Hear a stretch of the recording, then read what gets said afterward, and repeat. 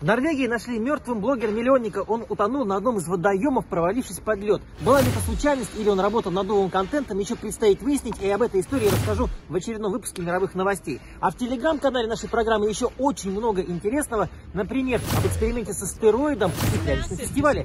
Не пропустите.